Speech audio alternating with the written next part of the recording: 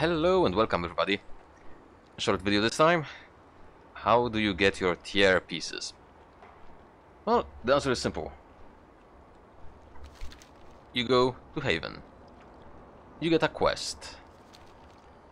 The quest's name is The Catalyst Awakens. Right? It leads you here. So, you just have to right click on this structure and this little UI pops up. Now, you can plant any of the current season gear that comes from Mythic Plus, uh, Zereth Mortis, the Raid, or PvP. I have a nice little head over here. So, things worth noting. If you place it here, the item will keep its item level, its upgrade slots if the item had upgrade slots, so as you can imagine, M plus gear may be slightly superior here, or PvP if you are a PvPer. And any potential tertiary stats. It does not keep the secondary stats, so in some cases uh, the stats will be not ideal.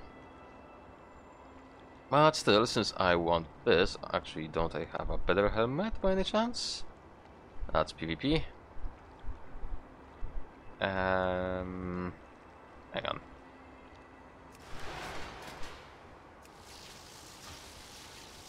What am I using on my feral spec?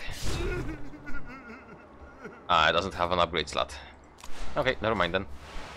We're upgrading this and it will cast a little bit of your Cosmic Flux, which you probably have a lot.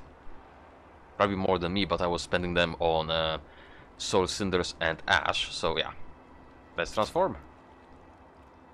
Now we have to wait a little bit. After upgrading this item, the Catalyst will need 6 days, 17 hours to recharge. Yes.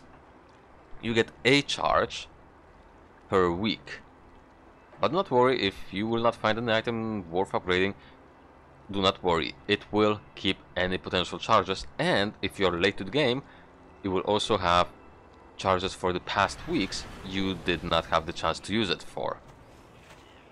So yeah, transform. So if we do this now, we have to wait. Yeah, the same story. 265, 265. No upgrade slots. Oh yeah.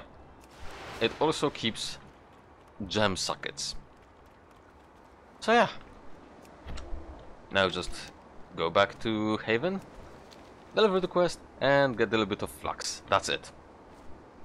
There aren't really any prerequisites, but um, you still need to have a way to actually reach this structure.